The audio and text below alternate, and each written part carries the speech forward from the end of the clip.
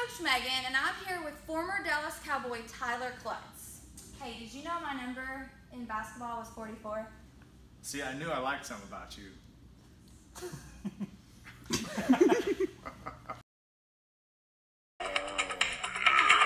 I said no suit. I told you you